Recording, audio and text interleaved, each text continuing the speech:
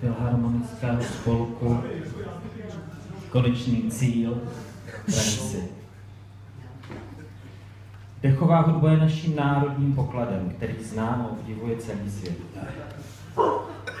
Naznačuje to i ostatně píseň Františka Česká muzika ta vždy pěkně hrála, žádných šumařů nikdy se nebála. Forte spuste hned, dost již všech těch věd, jací jsme my muzikanti, ať zví celý svět.